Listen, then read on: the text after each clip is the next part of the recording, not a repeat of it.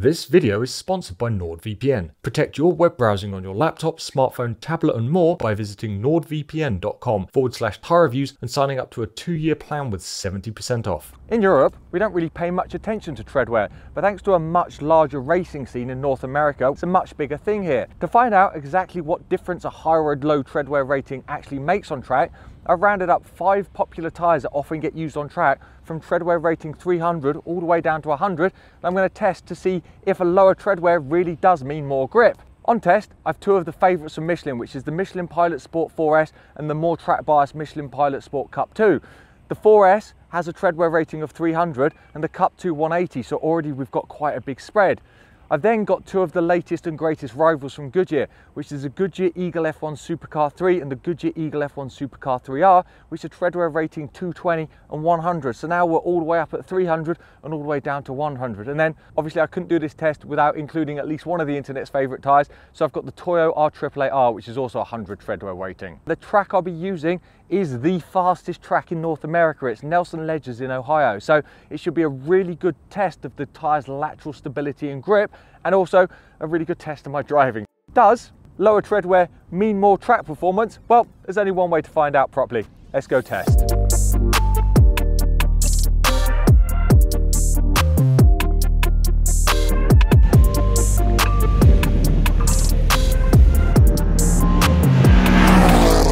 Okay, if you've watched my GT3 RS video, you'll know at some point there is a limit to me driving quickly and me being able to talk. This track is so fast and this car is so fast. I've done my fast laps and I've got my data and I've got my times, but there was no way I could do that well while talking to you. So I'm having to do things separately again. But this car now, the astute of you will notice this isn't a fifth gen Z28 interior either. Being tall's great for a lot of things, but driving is not one of them. And I couldn't fit in the Z28. If I could get my head comfortable, my leg was wedged between the bucket seat and the steering column. So sadly, I couldn't use that car, but I have this sixth generation ZZ1LE. Anyway, the tyres. Started the day with the Michelin Pilot Sport 4S. Now this tyre, if you'd driven it in isolation with no other tyres on this car, I think you'd be reasonably happy with it. Now, let's not forget the 4S is the most road focused of the tyres. It's a treadwear 280. And again, in isolation, it feels it feels okay. The front end always feels a bit vague and turning is a little bit slow and the tyre seems to take a little bit of time to build slip angle and sit on the sidewall a little bit and you get that kind of annoying like first turn, wait, first turn, wait and it just kind of feels a bit bouncy.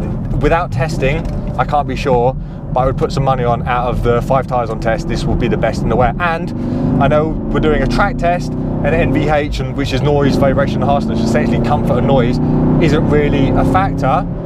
But even driving from the pits to the track, you could feel this was the most damped tyre. So on the road, it would be the most comfortable and the, the most rounded tyre, I guess. But on track, because I've driven it against the competitors, you really start to notice where it lacks, and that is in the, the directness of the steering, uh, the speed of the steering. It's quite a light steering tyre and it's quite uh, you need quite a bit of slip angle.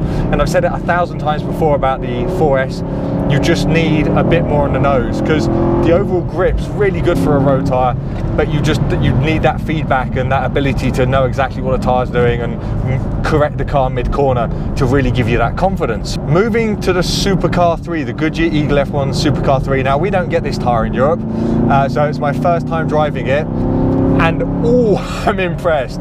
It doesn't feel like it sits in the same category as the 4S it feels like it, it, it isn't a track tire because it doesn't have the wet disadvantage. As far as I'm aware I need to test this. This is a test for another day.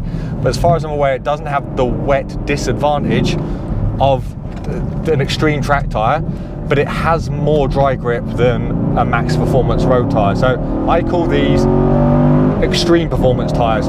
This supercar 3 is just a joy. Moving from the 4S, everything I wanted to be improved with the 4S on track, this tyre seems to do it. The front end's really darty and direct.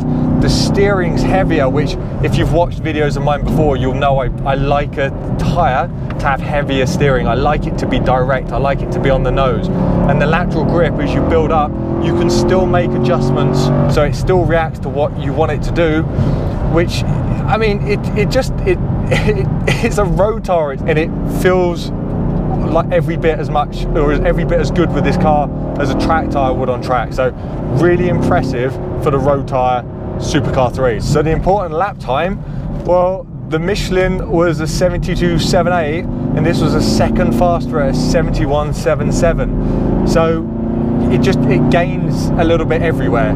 But I think forget the grip, forget the improved lap time, it's the directness and sharpness that I think you'll really appreciate on the road. Because on the road you don't push your car to 10 tenths like we are on track, but on the road this tyre's gonna make the car feel more alive, more direct and more sporty, which again is something I really value in a tire. I know some people would prefer comfort and whatever the advantages of the Michelin have, full test coming soon I'm sure, but this supercar three is just it, it makes the car feel alive which I love. Moving on to the cup 2 now the cup 2 is Michelin's track tire and the steering while it is a little bit lighter than the supercar 3 it's still a very nice tire to steer. It feels really good on the front.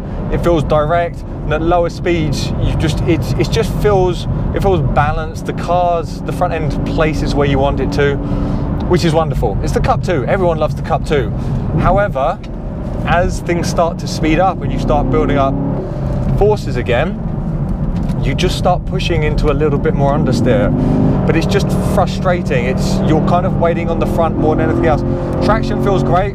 The back's planted and the occasional slide, it, it's it's controllable, but it's just that front axle authority is lacking. So the car really does understeer and understeer. And again, like the 4S, you're kind of making small adjustments the whole time. The time is quicker than the Supercar 3, but it's only by about half a second. So the gap between the 4S and the Supercar 3 is larger, both in time and sort of handling subjective feel, than it is between the Supercar 3 and the Cup 2, which I found really interesting. Now moving to the Supercar 3R.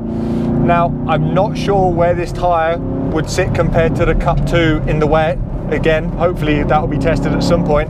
But let me tell you in the dry it's a better tire immediately you notice the slightly heavier steering which is always a joy. I've said this earlier i really like heavier steering. But you get so much more grip with it. The brakes feel more immediate. The turning feels really really good. And then when the car's loaded up laterally like it is now especially in the long sweepers you have at this circuit it just holds on and on and then you start squeezing the throttle a little bit more because you realize you've got more grip. And you go and go and go and then you realize actually you've got more grip.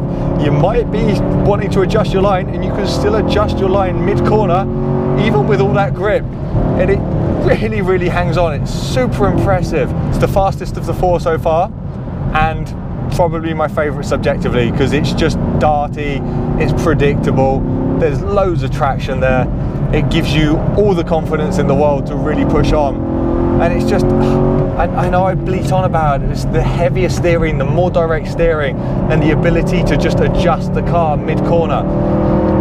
It's, yeah, great tyre Goodyear, you've done a great job.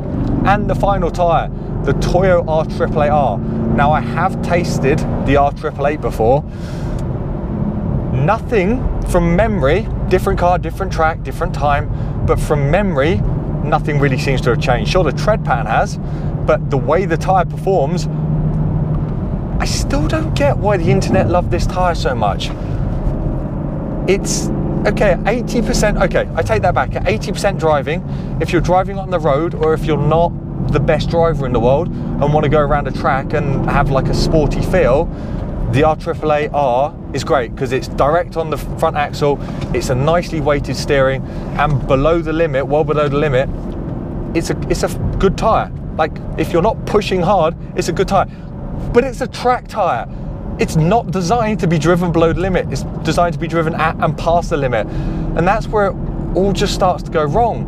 I mean, this this Camaro ended up having both oversteer and understeer at the same time. It felt like the tyre was sitting on the track, not, not keying into the track. Really, really curious. When it switched to understeer, which it did quite a lot, it, it didn't really give you much notice and you found yourself like you turning on the brakes, pick up the throttle as you would with any of the other four tyres, and all of a sudden you'd be shooting off understeering and you'd really have to like work the car back instead of going onto the grass and the walls, which are very close here at this circuit. When it oversteered, it oversteered very quickly. So you were snap oversteer. So it was a turn, easing on the throttle as you would of any of the other tyres, and then it would kick out, and you'd you'd really have to be sharp. Which the this is the only tyre where I had a oh moment, and it it it makes it's strange. It makes a really strange sound. At speed, it sounds like you've got a jet engine because it's going or there's an air raid siren, and then when it's chirping in the corner, it just makes an it makes a really odd sound. So I know I'm being negative about this tyre. Again, please don't please don't get too angry. But if it was quick, if it's quick, we can we can balance it out. But it's not. Two seconds a lap slower than the 3R, um, and not that much faster than the 4S.